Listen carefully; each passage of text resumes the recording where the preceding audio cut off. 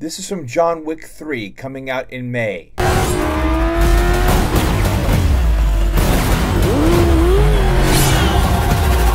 And this is The Villainess, which came out in 2017.